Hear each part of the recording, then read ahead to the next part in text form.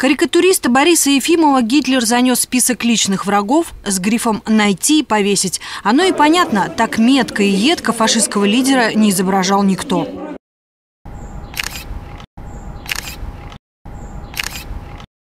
Сатирические рисунки Ефимова сотрудники Росизо привезли в «Орел» не случайно. Едкие агитки поднимали боевой дух солдатам в тяжелых битвах за Курский «Орел» ничуть не хуже громкого «За Родину, за Сталина». 43 год – самый такой жестокий, переломный год.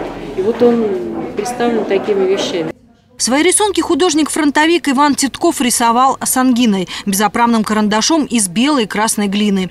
Это любимый инструмент художников эпохи Возрождения. В итоге красиво, но перед этим очень сложно.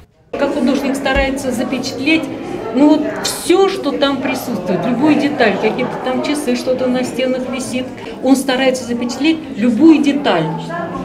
Это вот художник, может быть, даже подсознательно понимали, что это то, вот то их работа сохранится потомкам.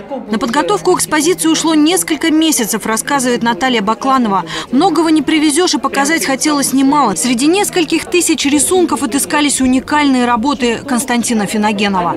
Город Сталинград и город Берлин, оба разрушенные, но один город-победитель. Выставка фронтового рисунка и плаката будет работать в галерее Курнакова до сентября.